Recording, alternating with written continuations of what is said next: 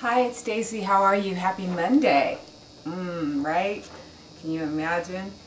I got so many emails over the last couple of days that I felt I had to start addressing them or they were going to pile up. So, um, let me first start by saying thank you to everyone that viewed and commented on MySpace, soulfair.com, YouTube, and Facebook.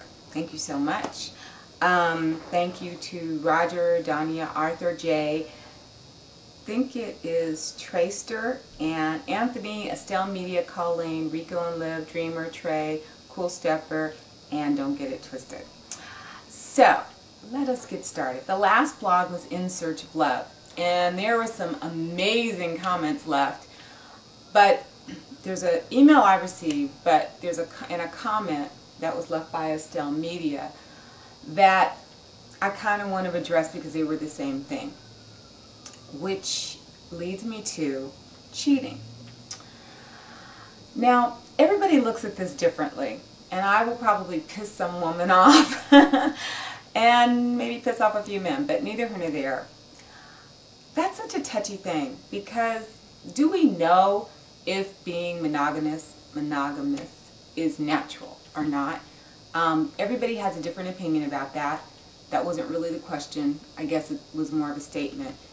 I don't know that we all know if it is or isn't. I think it's an individual thing or a couple thing, how you decide to work out your relationship. But what I will say is, a lot of times people complain because they feel like they've been cheated on. And cheating isn't just the person that stepped out on you but it's your responsibility in the relationship as well. Thing about relationships is we get into them, but we don't really know how to conduct ourselves in them. We are two people, and we kind of think that that's all that it's supposed to be. We forget that we need to communicate. We forget that we need to be mindful that we're dealing with another human being and their feelings and needs and wants and whatnot. And a lot of times we're all guilty of being neglectful of our relationships. Um, women are notorious for this, and I'm going to say it, and men too, but I always hear men complain that, you know, I got married and well, my wife put on 50 pounds. Okay, well, how you catch them is how you keep them, I've always been told. And it shouldn't be about that. It should be for yourself that you want to continue to look good. Again, about self-love. You should want to look good for you and for your mate.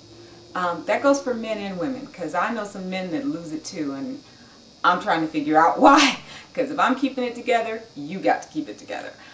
Um, but I think that everybody has to take responsibility in whatever is wrong in the relationship.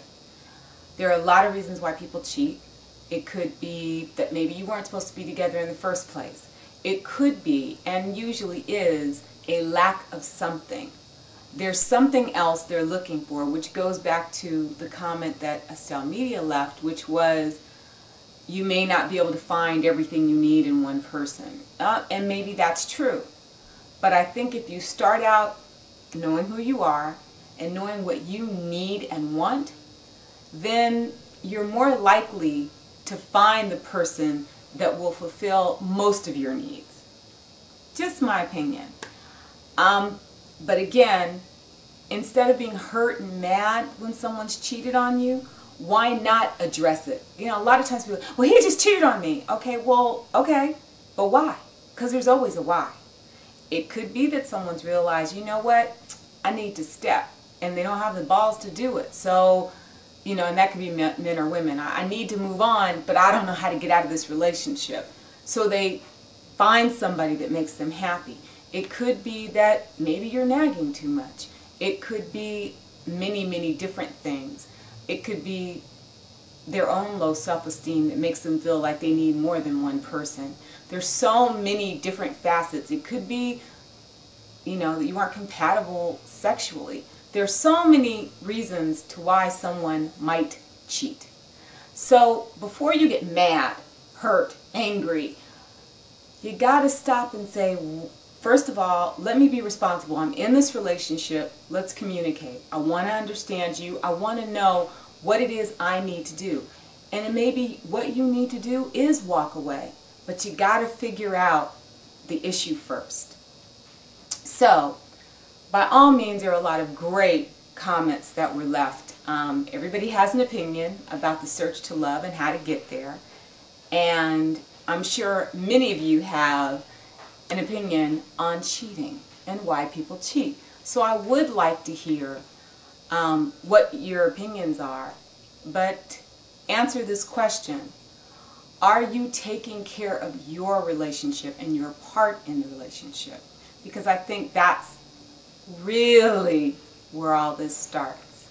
So, that's my question for today. Ponder that.